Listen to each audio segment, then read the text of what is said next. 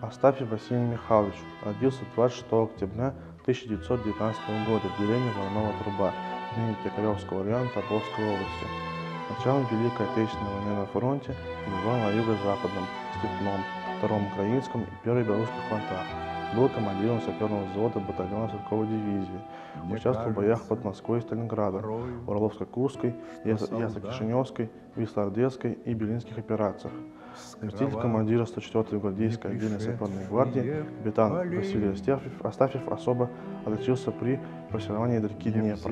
Под непрерывным вражеским огнем гвардии капитан Астафьев Василий Михайлович руководил переправой стрелковых подразделений. В результате было переправлено 60 пушек, 38 минометов, 20 танковых пулеметов и 1625 бойцов.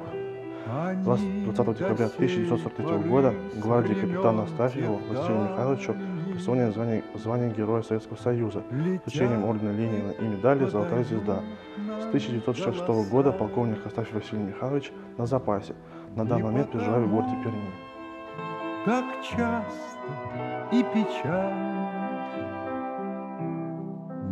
замолкаем, глядя в небеса.